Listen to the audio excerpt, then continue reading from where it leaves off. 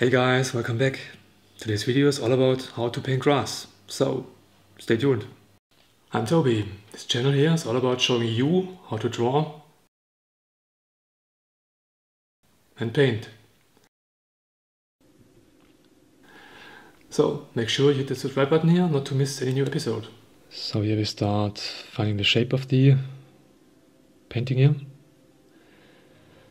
Um, filling it up with the acrylics, black for the background and the mid green in the foreground. Here I'm using now a fan brush to get in those first parts of the shadowy parts of the grass here. And for this part you need to thin down the color a lot. As you can see, building up the shadowy parts. All this randomly here it's now the oil color on the background here. And I put in these blades of grass as you can see with the rigger brush uh, with a special technique just to flat it out and to get in these grasses as you can see here with the pretty sharp uh, brush here. So it's a lot of color and it's getting pretty sharp. Same technique is used here with the darker blades of grass here. Putting in the darker ones randomly, different sizes, different shapes, different directions, as you can see.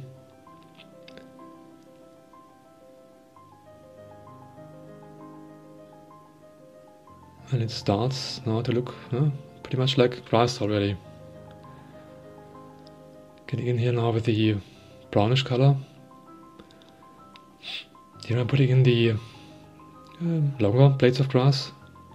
First the darker ones, brownish, as you can see. These are now the mid-tone blades here.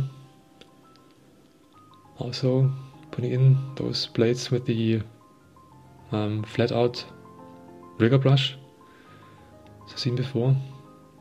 And here I start to put in those details on top. Makes it much more realistic.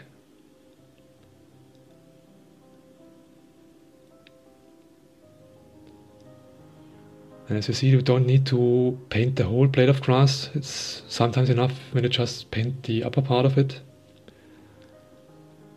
And this is this here is now the pretty important part of this whole thing.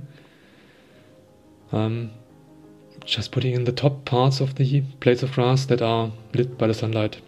And you need some randomness, uh, all kinds of directions as you can see, going left, right, up and down to get this thing really looking realistic. Using some lighter tones, some darker greens, some lighter greens, and now here I'm going in with the lightest color of the blades of grass here.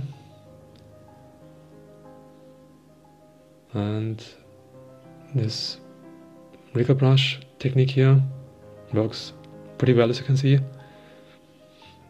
get really fine lines of these blades of grass here. Even on top some details again. And as I said before, really nice fine sharp lines that you need to put in to get this thing looking realistic.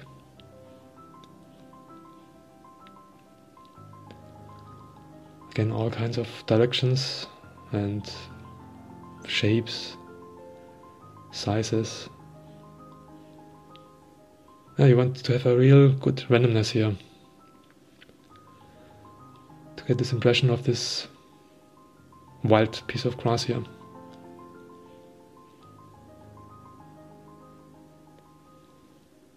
And now I'm building it up on the right side and you can see the contrast.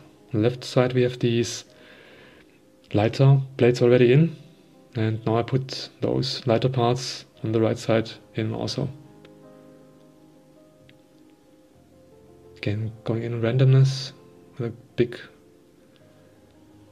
big randomness um, following the photo reference, but just to get um, ideas for the shapes that you want to put in.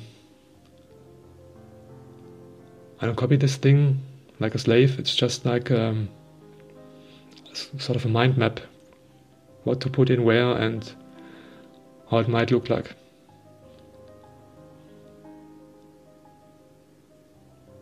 So work my way forward and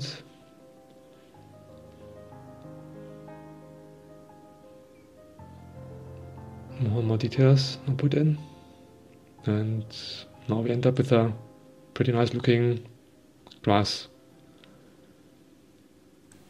Now that you're able to paint grass, perhaps you might like to learn how to paint a tree.